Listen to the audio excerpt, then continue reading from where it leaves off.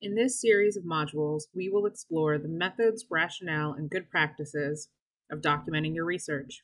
Proper documentation is crucial for organizing your thoughts, preserving knowledge, and sharing your findings with the scientific community. By the end of this series of lessons, you will understand the different types of lab notebooks available. Each type has its unique features and purposes, ranging from physical notebooks to electronic platforms. Two, be able to determine which one best suits your needs. We will explore the factors to consider when selecting the right lab notebook for your research requirements. Recognize the significance of documentation. Clear and thorough documentation not only aids in organizing your research, but also allows for reproducibility, credibility, verification of your scientific endeavors. Four, understand what information to document is crucial for capturing the essence of your research we will explore the essential elements that should be included in your lab notebook and in your file storage. Five, learn essential guidelines for effective documentation. These guidelines will help you establish consistency, clarity, and professionalism in your scientific record keeping. And six, learn how to develop a publication plan for promoting your research, increasing its visibility, and engaging with the scientific community. When starting your research project, it is important to develop a strong file organization schema. Keeping your files organized and easily accessible is not only essential while conducting your research, but also after the fact, should anyone have questions about your research or for future work. To have good file organization, four things must be established. One, consistent file and folder naming conventions. We will discuss the benefits of using descriptive and standardized naming conventions, including relevant metadata to ensure easy searchability and avoid confusion. File and folder naming conventions also help when conducting data analysis and reading in files to analytical software or codes you may develop yourself. Here is an example of Python code reading in all the CSV files in a specific folder as identified by the folder path into a computer. This is one way of importing raw data files into your code to conduct data analysis. By organizing your files and folder structures in advance and considering the need to conduct data analysis, you can design your file organization to reduce steps later in the research process. Two, creating a logical and well structured folder hierarchy is crucial for efficient file organization. We will explore different approaches to organizing folders, including hierarchical and functional structures. Three, version control is essential for tracking changes collaborating with others, and ensuring document integrity. We will delve into the benefits of implementing version control systems such as Git or cloud based solutions to manage file revisions and facilitate collaborative work. And four, choosing the right file storage solution is crucial for secure and accessible data management. We will explore different options, such as local storage, network drives, or cloud based platforms and discuss the considerations for selecting the most suitable file storage methods for your needs. There are several key considerations and strategies to develop a naming convention that provides clarity and enhances your file management process. The fundamental element of your naming convention is including the file type. File type refers to what document was created or how the document was created.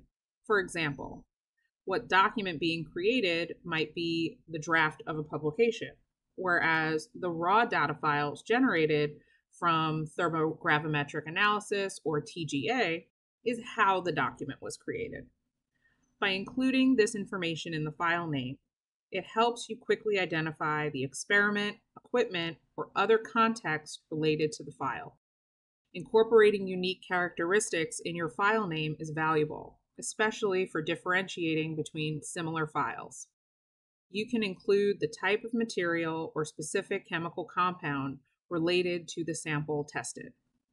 This helps to identify each file's context and its association with your research variables. File format, represented by the file extension, is crucial for understanding the purpose and compatibility of each file. Whether it's a doc, PowerPoint, TIFF, JPEG, CSV, or text, knowing the file format helps you determine where the file belongs within your file organization structure. When conducting multiple replicates in each experiment, using sequential numbers in your file names can distinguish between similar files. Replication of an experiment with multiple specimens allows for meaningful statistical analysis. Notating the replicate number in the file name ensures easy identification of each replicate. Including the experiment date in the file name provides another layer of identification. While the creation date of the file can change to the last modified date when viewing the file in your File Explorer, the experiment date is a constant value. Including it in your file name helps you easily relate the file back to your research plan and stay organized. By developing a thoughtful naming convention incorporating file types, unique characteristics, file formats, sequential numbers, and experiment dates, you can enhance your file organization and retrieval process. Remember, a robust naming convention ensures efficient management and easy identification of files throughout your research journey. An effective file naming strategy is crucial for organizing and retrieving your files efficiently. Let's review some key guidelines to optimize your file names. When naming your files, it is important to manage the length of the file name. Long names and unnecessary elements can lead to truncation when viewing files, making it easier to miss the file you need.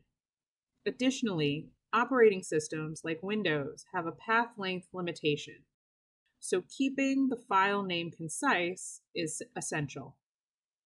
Consider establishing code shorthand or acronyms such as using TGA instead of thermogravimetric underscore analysis to save characters.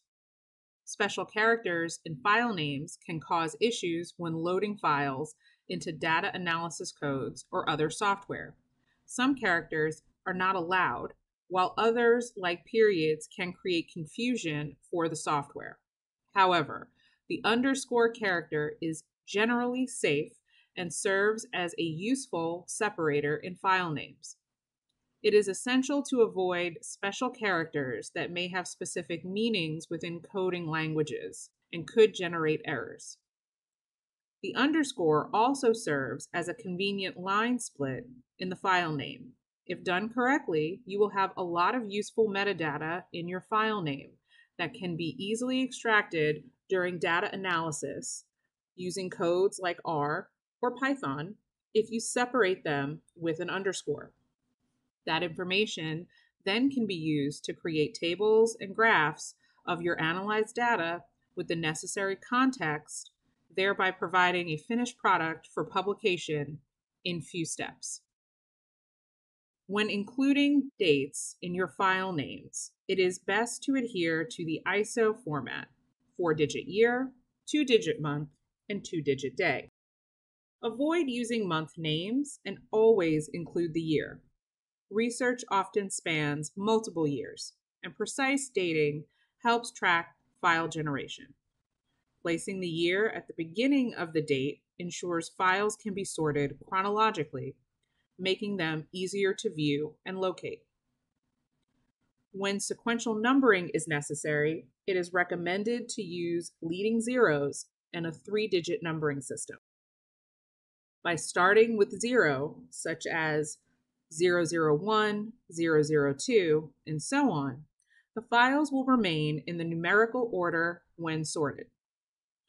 Leading zeros ensure proper alignment and prevent confusion. This approach helps maintain file organization and facilitates accurate file retrieval. By implementing these best practices, including managing length, avoiding special characters, utilizing date formats, and employing sequential numbering with leading zeros, you can streamline your file organization and enhance your ability to locate and work with files effectively. In addition to effective file naming, organizing your folders with a well designed hierarchy is vital for efficient file management. By establishing a thoughtful folder structure, you can easily navigate and locate your files based on relevant attributes. The top level folder serves as the foundation of your folder structure and should be organized by the most relevant attributes of your research. For example, you can use the year as the top level folder to separate different research periods. You might specify the years explicitly, such as 2019, 2020, and so on, or simply refer to the folders by year one, year two, etc. Like with the file names, keeping the folder names concise and utilizing code or acronyms helps ensure the overall path length remains within the character limit. Underneath the top level folder, you should create subfolders to further categorize your files. For example, you may have a folder for meeting minutes and updates to store all relevant documents. Another folder can be dedicated to experiments, with separate folders for different types of experiments, such as tensile, TGA, SEM, and more. Lastly, a folder for papers or publication drafts can be included to keep all your research outputs organized. The key principle behind the folder structure is to group files based on their relevance and relationships. By storing files in their corresponding folders, you create a logical system that reflects the different aspects of your research. This allows for seamless navigation and retrieval of files when needed. When it comes to organizing folders, following best practices is just as important as with file names.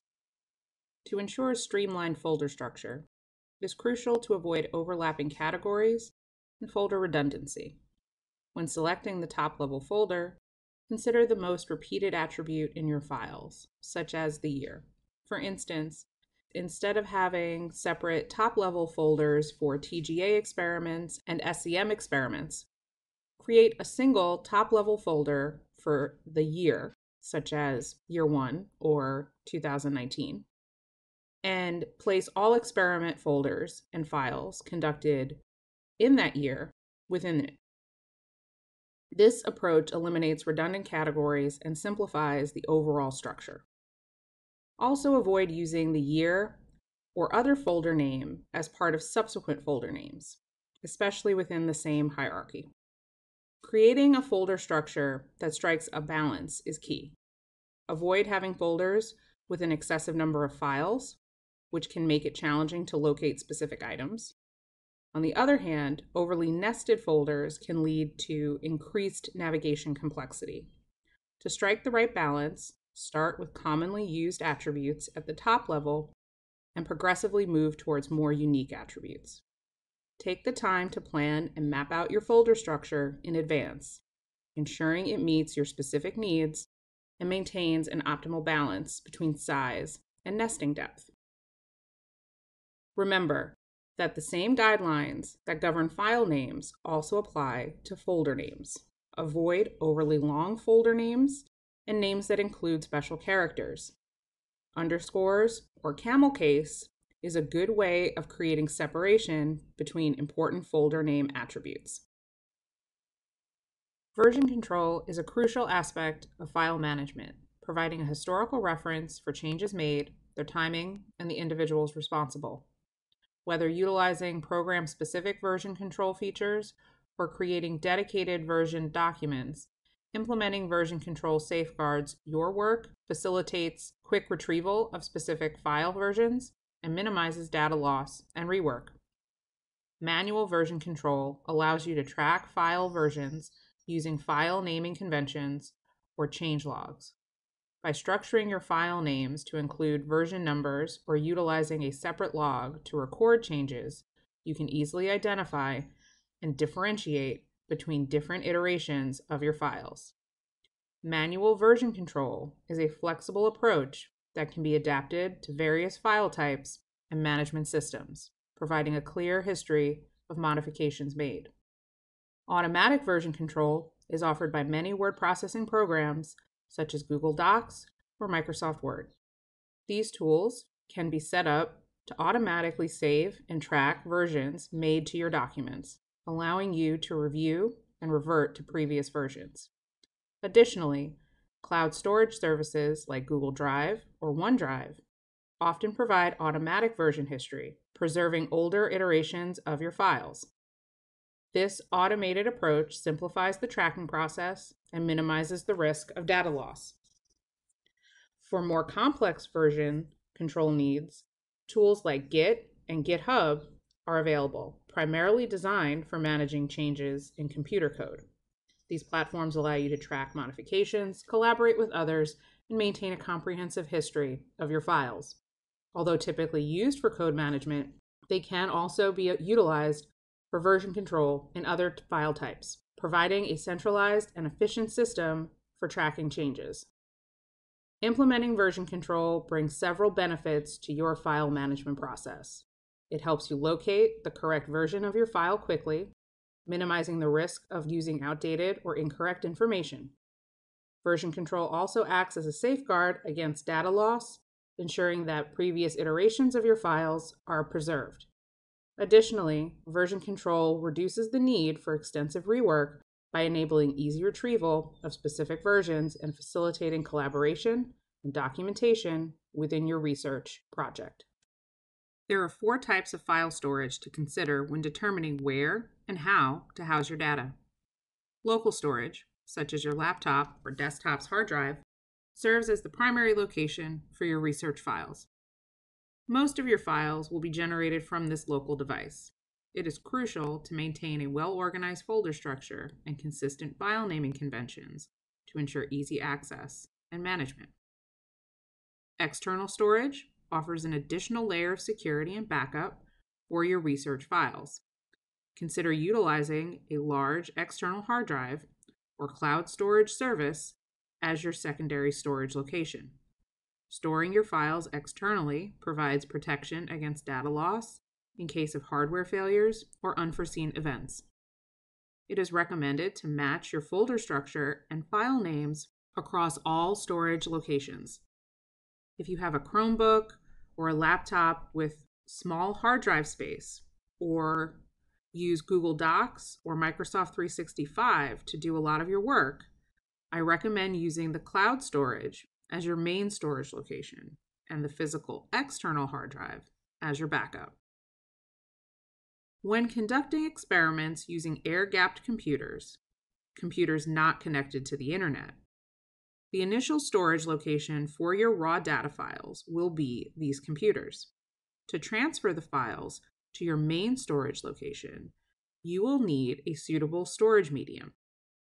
USB storage keys are ideal for securely transferring data between air gapped computers and your primary storage devices.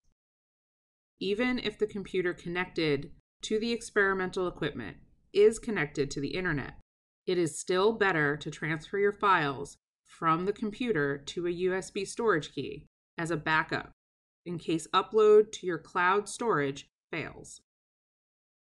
Universities often provide a virtual computing laboratory for students to access sophisticated software and perform computationally intensive tasks. When using a VCL or other third party server hosted software, your generated data will initially be saved on that server or virtual space. The lab may provide a share drive that you can access from outside the virtual environment to transfer your files. Alternatively, you may need to utilize a file transfer protocol or FTP to transfer data from the virtual environment to your main storage.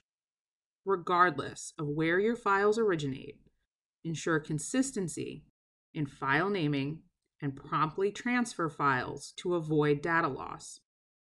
Consistency and promptness are key when transferring files between different storage locations. Whether it's transferring files from lab equipment computers, virtual computer lab servers, or shared drives, maintaining consistent file naming conventions is crucial. Additionally, promptly transfer files to avoid data loss, as equipment computers and virtual computer lab servers are often used by multiple individuals and may undergo regular data wiping processes. You will generate a lot of files while conducting your research. Most, but not all, will require storage and organization.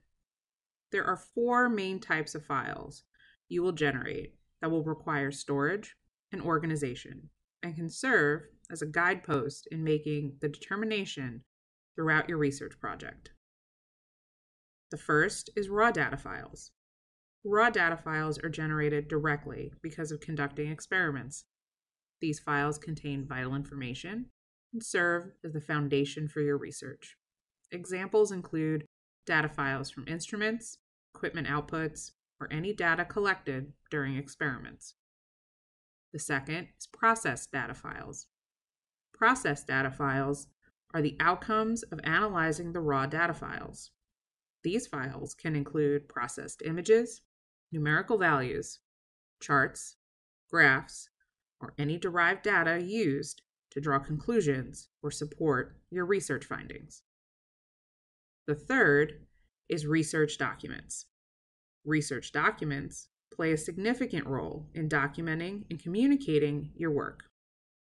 These files include draft conference proceedings, journal articles, conference presentations, dissertation chapters, meeting minutes, status updates or reports, and laboratory notes. Saving and organizing these documents within your file organization schema ensures easy access and comprehensive record keeping. The fourth is software documents. Software documents include documents generated by a design, analysis, or statistical software package. They are unique to that software and hold all the input data and instructions used to produce output files and data. They should be saved and documented both for historical purposes and in case you need to make revisions or updates. The category of software document files also includes any code files you generated to conduct data analysis or other tasks related to your research. These files can be written in Python, R, Perl, or other coding languages. In both cases, the software documents have their own unique file formats and corresponding extensions. When deciding which files to include in your file organization schema, consider the nature and relevance of the file. Raw data files and process data files are integral to your research and should be saved accordingly, as are software documents. Research related documents such as draft papers, presentations, meeting minutes, and laboratory notes are essential for documenting and tracking your progress. Start planning your file organization at the beginning of your research project. It is easier to stay organized from the start. But if you find yourself in the middle of a project without organization, don't worry. It's never too late to start. You can organize existing files or create a folder called pre organization to hold them. Use your new file organization plan for all subsequent files. Document all your file organization decisions. Create a README text file that explains your naming conventions, codes or acronyms, and folder structure. This documentation will be invaluable when transferring your research to another researcher or when you revisit your work years later and need to understand your organization. Include the locations of your main and backup file storage. Consistency is key to successful file organization. Apply your file organization plan consistently to ensure it becomes a habit. Plan in a way that works intuitively for you to encourage adherence. Establish folder structures in advance, even if they remain empty for a while. Set up regular backups to your cloud server or external hard drive to maintain consistency. Always carry a USB storage key with you. When working in labs or other locations, you may need to transfer files quickly. Being prepared with a portable storage device ensures you can easily move files between computers or devices as needed. Back up your files regularly and apply version control. Avoid overwriting files and instead create saved versions such as backup underscore research data underscore date or V1.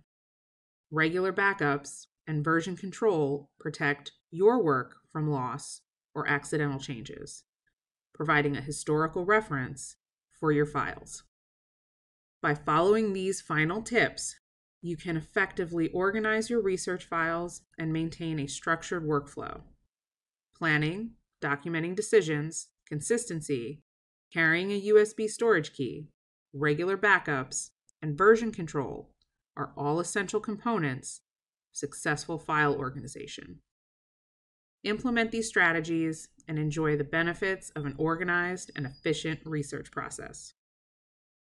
In the resources section of this lesson, I have included links to additional information on file storage and organization that can provide you with more guidance on this topic.